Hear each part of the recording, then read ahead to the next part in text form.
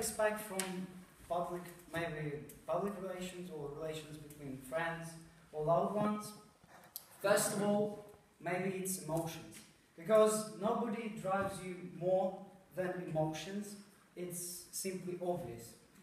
Um, the second one, why, why I do want and why I am in a relationship, it's that you are maybe somehow um, stabilized in this so unstable world nowadays. You've got even those like primitive basis of the stable existence, maybe in some way, and uh, maybe the third uh, way, which I like in being in a relationship, um, I guess that you are paying this special attention to someone.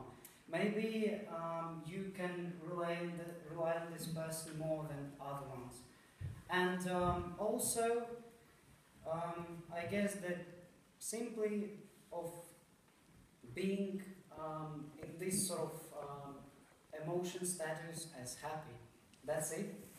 Thank you very much.